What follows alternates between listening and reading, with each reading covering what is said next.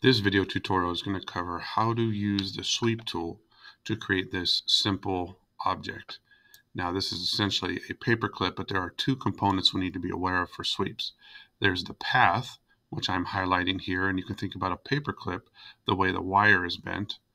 And then there is the profile, which is what a cross section of that looks like.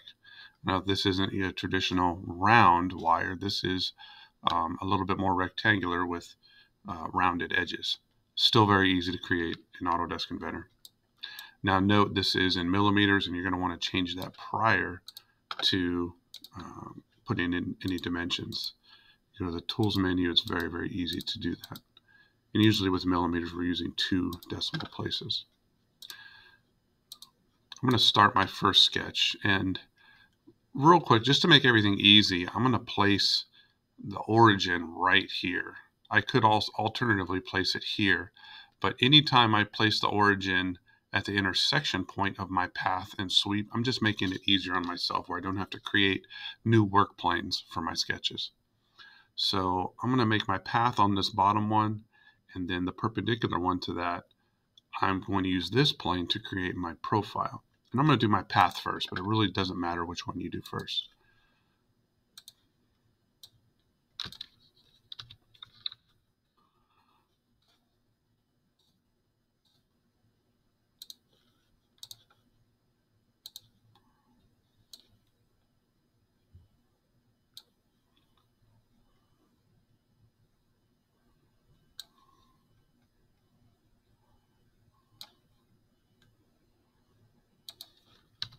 Okay, so there's my general shape. Now, first thing I should probably put in is my tangents to make sure everything is smooth. Now, tangents are really important. If you don't have a smooth path, uh, chances are your shape will not sweep the way you want it to. Okay, I know these are going to be concentric, these two arcs, so I can put that in now before I put my dimensions in. I know everything here is horizontal. So I'm going to make sure that one knows. And I'm going to put my dimensions in. Now there's, I'm just going to replicate the dimensions here.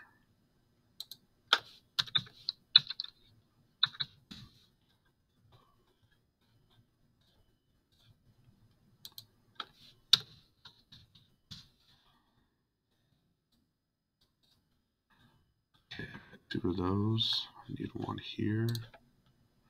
So this is essentially center point to center point, 50.8. Okay.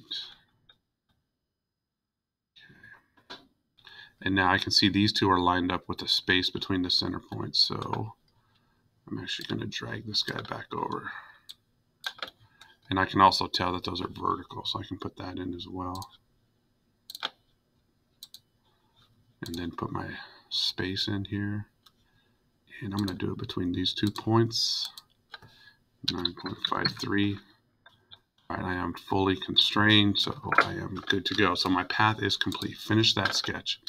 And now like I said before we want to sketch perpendicular to this point here. I could do either of these points. It really doesn't matter but uh, whatever you consider your starting point start it there. And you'll notice that that point coincides with this plane here which is exactly why I, I start on the origin. Now I'm vertical here, but this is a perfectly symmetrical and kind of squarish design, so it really shouldn't matter. I can go about this a couple different ways. I'm just going to do center point rectangle. Now, if I were not on the origin, I would have to project this point, but being the origin, it is pretty much visible from all planes as long as it's turned on. So I don't have to do that step, but otherwise I would have to do that step see, the radii are 0.51. And I could also just use a series of lines and arcs to create this. That would be perfectly fine too.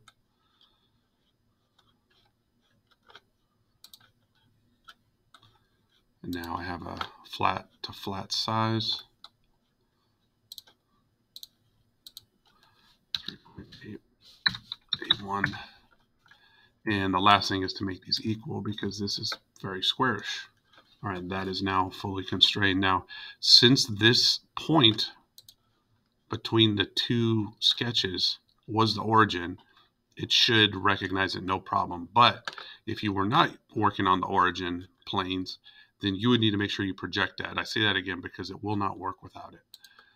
It has to have, the computer needs some point of contact between these two points. Now, as you can see, it already picked up the profile. It's just asking me to select the path, which is that. And there it is, very simple.